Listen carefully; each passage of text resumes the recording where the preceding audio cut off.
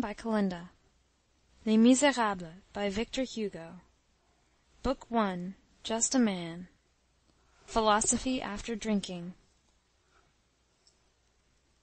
The senator above mentioned was a clever man, who had made his own way, heedless of those things which present obstacles, and which are called conscience, sworn faith, justice, duty. He had marched straight to his goal, without once flinching in the line of his advancement and his interest. He was an old attorney, softened by success.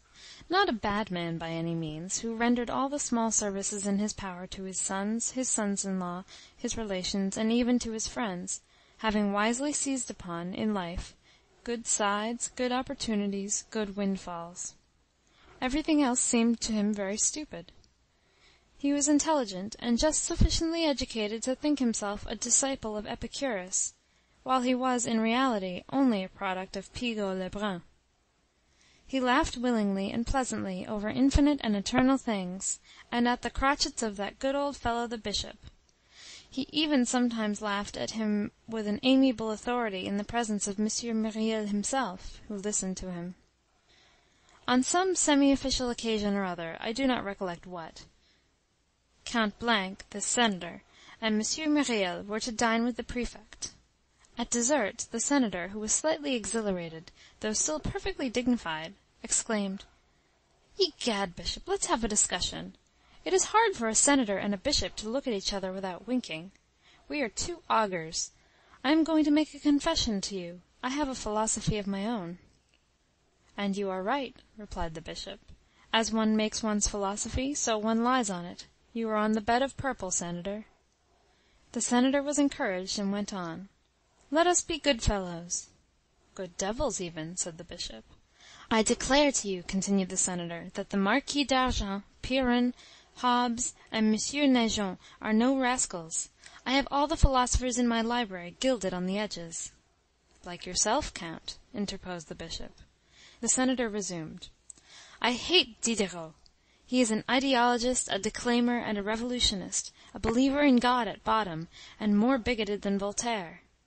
Voltaire made sport of Needham, and he was wrong, for Needham's eels prove that God is useless. A drop of vinegar in a spoonful of flour paste supplies the fiat lux. Suppose the drop to be larger, and the spoonful bigger, you have the world. Man is the eel. Then what is the good of the Eternal Father? The Jehovah hypothesis tires me, Bishop. It is good for nothing but to produce shallow people whose reasoning is hollow. Down with that great All which torments me. Hurrah for Zero which leaves me in peace. Between you and me, and in order to empty my sack, and make confession to my pastor, as it behooves me to do, I will admit to you that I have good sense. I am not enthusiastic over your Jesus, who preaches renunciation and sacrifice to the last extremity. 'Tis the counsel of an avaricious man to beggars. Renunciation, why? Sacrifice, to what end?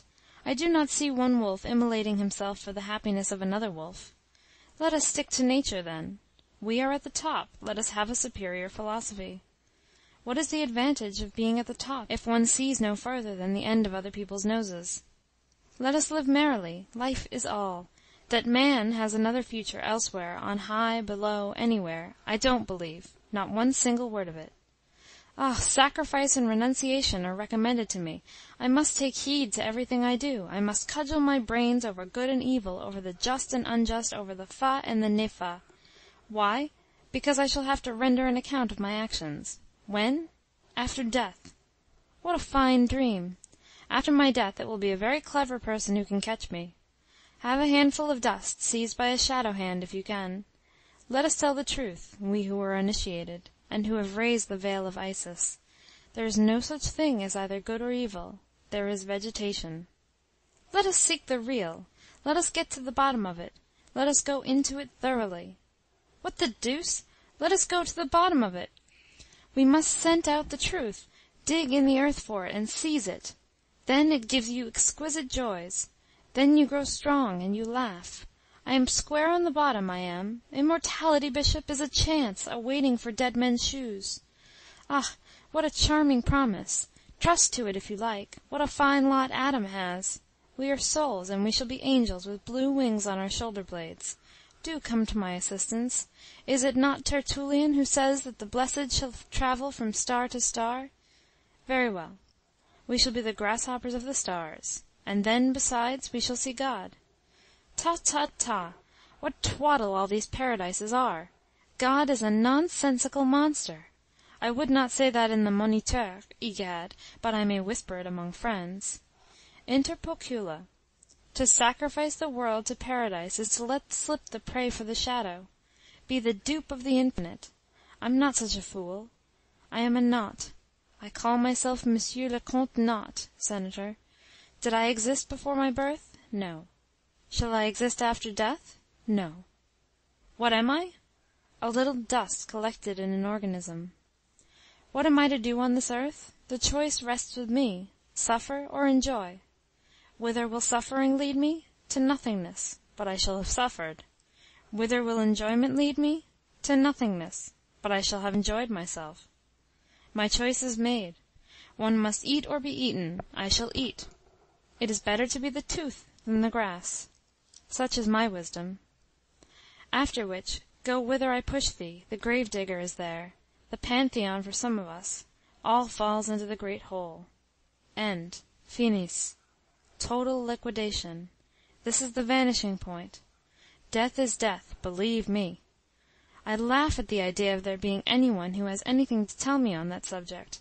Fables of nurses, bugaboo for children, Jehovah for men. No, our tomorrow is the night. Beyond the tomb there is nothing but equal nothingness. You have been Sardanapalus, and you have been Vincent de Paul. It makes no difference. That is the truth. Then live your life above all things. Make use of your I while you have it. In truth, Bishop, I tell you that I have a philosophy of my own, and I have my philosophers. I don't let myself be taken in with that nonsense. Of course, there must be something for those who are down, for the barefooted beggars, knife grinders, and miserable wretches. Legends, chimeras, the soul, immortality, paradise, the stars, are provided for them to swallow. They gobble it down, they spread it on their dry bread. He who has nothing else has the good. God. That is the least he can have. I oppose no objection to that, but I reserve Monsieur Naigeon for myself. The good God is good for the populace. The Bishop clapped his hands. That's talking, he exclaimed. What an excellent and really marvellous thing is this materialism! Not every one who wants it can have it. Ah! when one does have it, one is no longer a dupe. One does not stupidly allow oneself to be exiled like Cato, nor stoned like Stephen, nor burned alive like Jeanne d'Arc.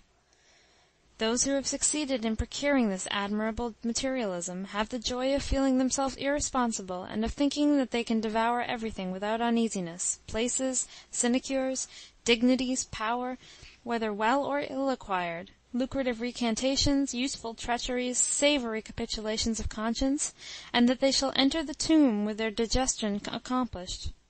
How agreeable that is! I do not say that with reference to you, Senator. Nevertheless, it is impossible for me to refrain from congratulating you. You great lords have, so you say, a philosophy of your own, and for yourselves, which is exquisite, refined, accessible to the rich alone, good for all sauces, and which seasons the voluptuousness of life admirably. This philosophy has been extracted from the depths, and unearthed by special seekers; but you are good natured princes, and you do not think it a bad thing that belief in the good God should constitute the philosophy of the people very much as the goose stuffed with chestnuts is the truffled turkey of the poor. End of Book One, Chapter Eight. Recording by Kalinda in Raymond, New Hampshire, on November 30th, 2007.